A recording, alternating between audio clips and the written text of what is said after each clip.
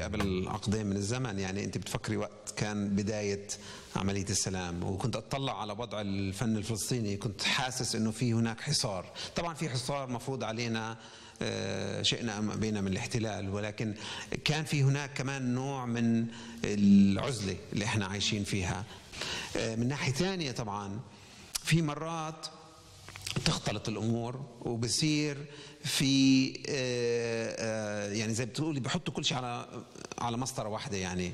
فبصير آه، المقاطعة مقاطعة الجميع بدون ما نطلع على كل حالة بحالتها. إحنا عايشين ب يعني بنص ال- الاحتلال بس بنفس الوقت لحد لحد هلأ محافظين على نوع من من التماسك. والصمود. آه، بس ما اخبيش عليك من 20 سنة زي ما بدينا الحديث أنا وياك لليوم ال support system للفلسطينيين في القدس والمؤسسات في القدس آه، ضعف كتير وتآكل خاصة بعد أوسلو.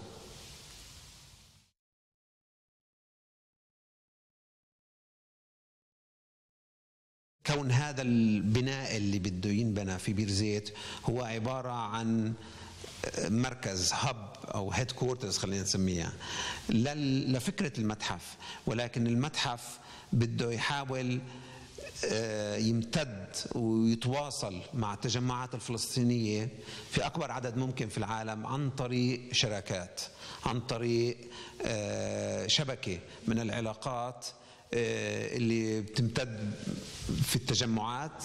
الموعد للافتتاح إن شاء الله في نهاية 2014 لما مؤسسة التعاون انتقلت من فكرة إنه إحنا بس نعمل متحف يحفظ التاريخ يعني هذاك نسبيا سهلة لأنه بتجيب التاريخ أوكي بتعملي له قراءة معينة وبتمثليه بمعروضات معينة. هلأ صرنا نقول بدنا نعمل هذا الحكي بس لأ كمان ندفش ناخذ التاريخ وهذه القراءة وندفشها بالمستقبل ونشوف كيف هاي ممكن تتفاعل مع الفلسطيني اليوم. إن كان موجود في القدس أو في عمان أو في سانتياغو تشيلي أو وين ما كان. وشو بيعني له هذا المتحف؟ وشو بيعني له كونه فلسطيني؟ وكيف هذه العلاقة إحنا من خلال هذا الجسم ممكن نعززها ونقويها؟